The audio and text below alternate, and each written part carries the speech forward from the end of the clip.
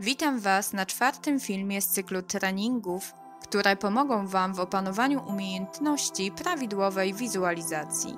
Termin wizualizacji wyjaśniłam w pierwszym filmie z tego cyklu, do którego link znajdziecie pod tym materiałem. Dzisiaj przeprowadzę Was przez naukę wizualizacji dźwięku. Idealna wizualizacja dźwięku to taka, w której naprawdę słyszycie dźwięk, który sobie wizualizujecie.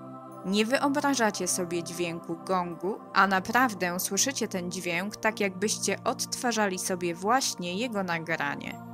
Możliwe, że brzmi to dla Was niezwykle, jednak zapewniam Was, że jest to umiejętność, którą każdy z Was może nabyć, jeżeli systematycznie i rzetelnie będzie wykonywać trening, przez który Was za chwilę przeprowadzę.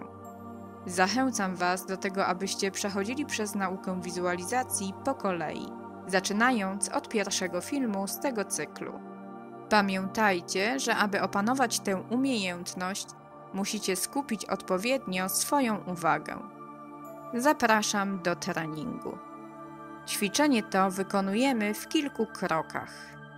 Zawsze na początku postarajcie się odprężyć, wyciszcie ciało i uspokójcie umysł, biorąc kilka głębokich wdechów i wydechów. Krok pierwszy. Przez kilka minut słuchajcie nagrania z dźwiękiem gongu. Wasze oczy powinny być zamknięte. Następnie spróbujcie wizualizować sobie ten dźwięk bez jednoczesnej wizualizacji obrazu. Wizualizujcie sobie, że słyszycie dźwięk gongu. W pierwszych dniach treningów uda Wam się to zrobić tylko przez bardzo krótką chwilę. Ćwiczenie powinno trwać 10 minut. Wykonujcie je przez 4 kolejne dni. Krok drugi. Powtórzcie czynność z kroku pierwszego, jednak już bez wcześniejszego odsłuchania nagrania dźwięku.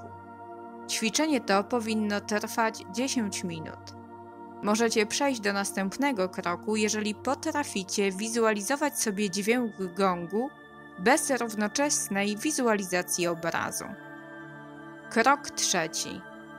Rozpocznijcie ćwiczenie wizualizacji na innych dźwiękach. Trening ten powinien trwać przez 10 minut. Nauka jest przez Was zakończona, jeżeli potraficie wizualizować sobie dowolny dźwięk bez równoczesnej wizualizacji obrazu przez 5 minut. Bardzo gorąco zachęcam Was do ćwiczeń prawidłowej wizualizacji. Tak jak powtarzałam wielokrotnie, jest ona niezbędna do pracy z energią, do pracy z medytacją. Obiecuję Wam, że jeżeli nauczycie się prawidłowej wizualizacji i będziecie stosować ją w różnych technikach, to Wasze życie zmieni się na takie, jakiego pragniecie. W następnym filmie przedstawię Wam trening wizualizacji czucia. Dziękuję i pozdrawiam. Do usłyszenia.